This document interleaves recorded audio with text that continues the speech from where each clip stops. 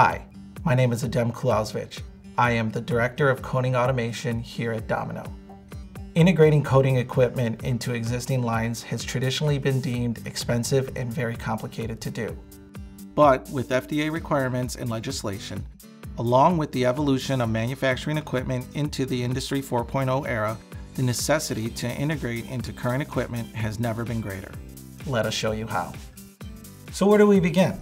Well, let's talk about what IoT means. IoT simply stands for Internet of Things.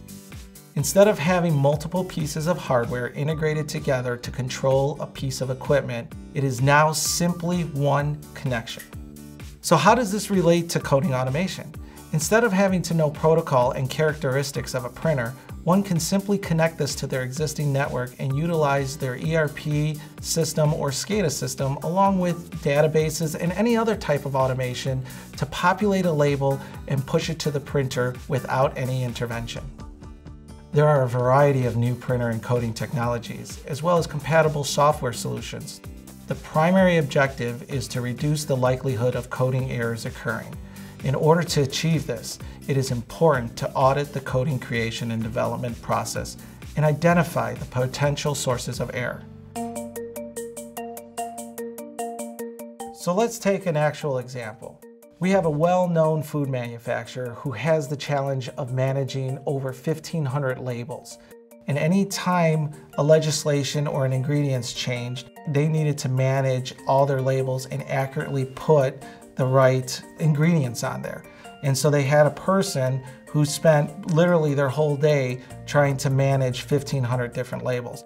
So what we did was we looked at their existing database that they keep up to date and mirror that into our labels. So instead of having 1,500 unique labels, we only had five that were populated from a database. They are a Domino customer because of it. So we had a very major beverage company. And when they do a line change, the primary coders that would print on the cans would print the accurate date. But when they went into a case, it was a different date because they had the wrong product. They had an over $40,000 recall to get them properly coded. And what we offered was an automation solution that allowed them to press the ingredient product that they wanted and that it would deploy the correct message not only to their primary coders, but their secondary and tertiary. They have no human intervention failures. Their efficiency is practically 100%. So what did we learn from this? Well, we learned that IoT is not complicated and scary, that it's very simple to integrate coding equipment into your existing lines, and most importantly, it allows you to take back control. I encourage you to contact us today to open up the dialogue and to bring message design and print control to your production line. I want to thank you for taking the time and watching this video.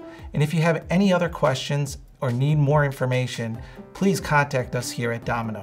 We're here to help.